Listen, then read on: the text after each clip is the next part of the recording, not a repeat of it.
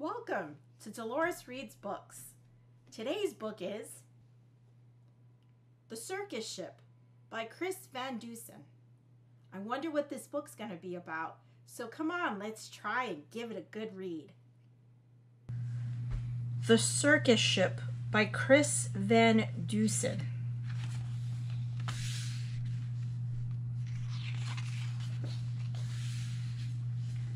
Five miles off the coast of Maine and slightly overdue, a circus ship was steaming south in fog as thick as stew. On board were 15 animals who traveled to and fro. The next day it was Boston for another circus show.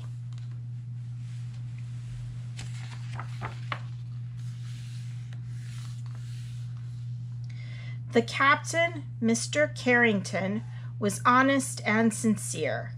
He thought that they should drop the hook and wait for things to clear. But Mr. Payne, the circus boss, was terribly demanding. He stomped up to the helm where Captain Carrington was standing and screamed, Don't stop! Keep going! I've got a show to do. Just get me down to Boston town tomorrow, sir, by two. Then came a crash, an awful bash. Things flew into the air. The ship had smashed into a ledge that no one knew was there. The shattered ship began to tip, then sank without a sound. The splashing, thrashing animals swam round and round and round. Look at all those animals. There's a camel, a hippopotamus. What animals do you see on this page?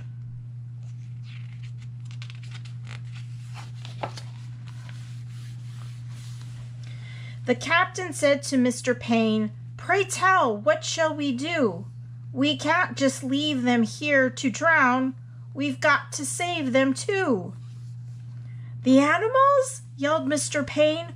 Why, sir, what are you, daft? It's me that you should rescue. Pull me up into the raft. Now ferry me to safety, sir, before I die of cold. But don't question me, barked Mr. Payne. Just do as you are told.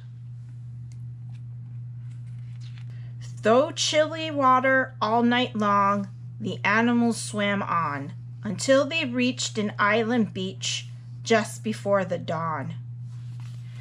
They pulled themselves up on the shore, bedaggled, cold, and beat, then staggered to the village on weary, wobbly feet.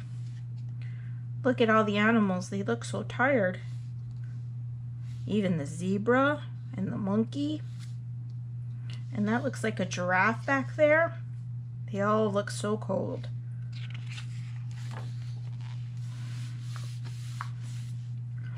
The people in the neighborhood had just begun to rise. And when they saw those animals, they had to rub their eyes. They thought they saw an elephant. But wait, how could that be? And what's that little monkey doing in the cherry tree? Do you see the monkey? Right there in the cherry tree?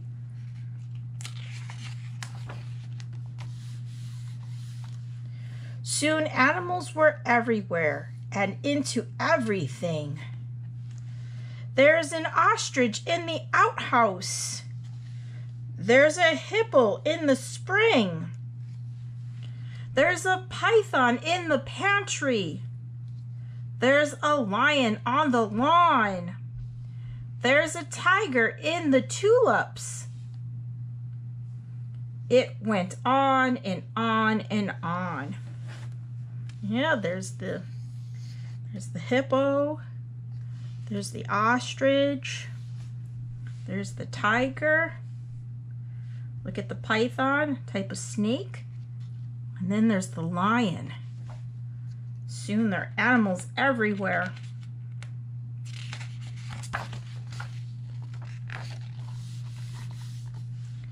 Mr. Hood was stacking wood and nearly jumped a mile when he found the alligator sleeping on his pile.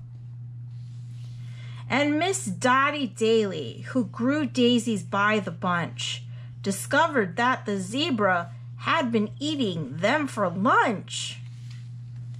And Miss Fanny Feeney found, according to the rumors, the silly little circus monkey swinging in her bloomers.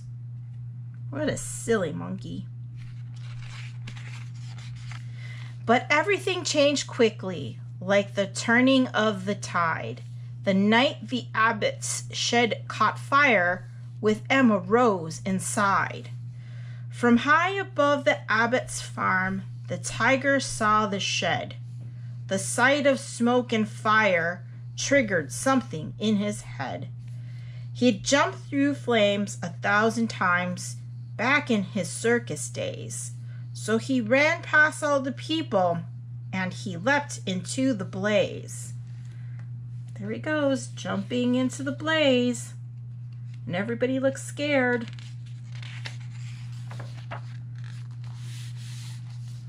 Then everybody panicked.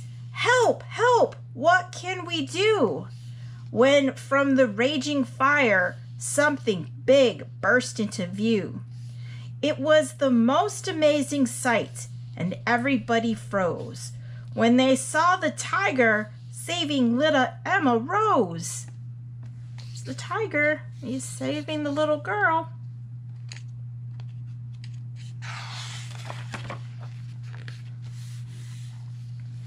The tiger's risky rescue changed everybody's mind.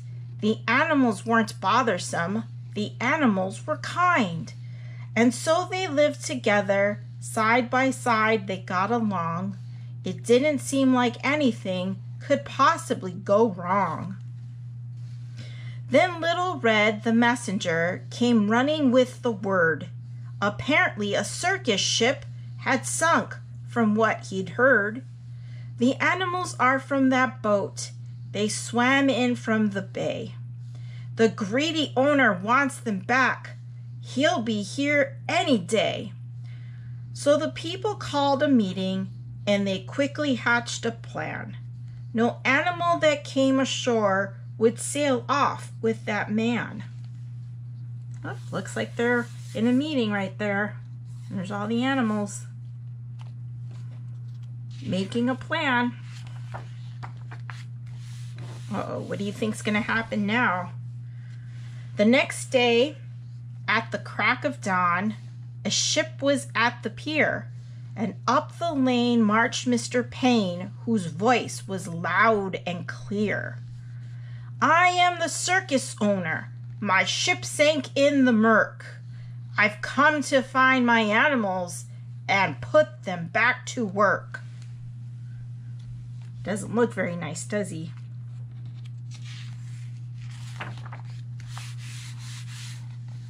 He hiked until he came into the center of the town. His face was red. He scratched his head. He stood there with a frown.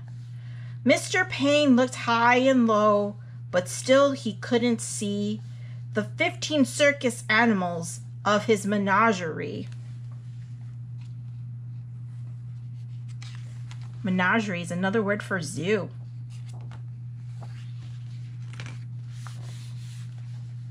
He ran around the alleyways. He searched the village square. He even checked a chicken coop. His animals weren't there. Mr. Payne was tuckered out. His heavy chest was heaving. Then Little Red stepped up and said, I think your boat is leaving.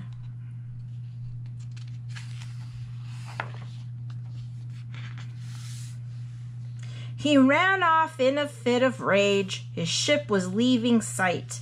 So he jumped into a rowboat and he rowed with all his might. There's the rowboat. He looks really mad too. And from that day, they like to say their lives were free of pain. It was a happy, peaceful place upon that isle in Maine. Everyone looks so happy. If you like this content, be sure to like and subscribe. And don't forget to hit the notification so you will know when we upload new videos. So keep on reading until next time.